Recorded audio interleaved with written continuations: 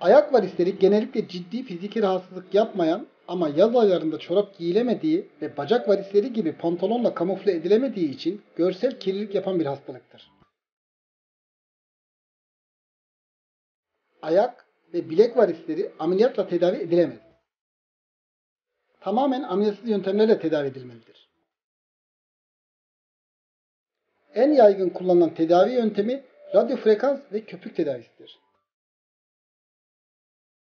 Radyo frekansla ince varisler, köpük ve kalın varisler tedavi edilir. Köpük damarın içine verilir ve damarın tamamen yok olmasını sağlar. Köpük tedavisi bu konuda tecrübeli bir damar cerrahı tarafından yapıldığında sorun yaşanmadan %100 tedavi edilebilir. Bu grup varisler uygun şekilde tedavi edilirse hastalıklı damar sonsuza kadar yok olacağından tedavi edilen damarda varis tekrarlamaz.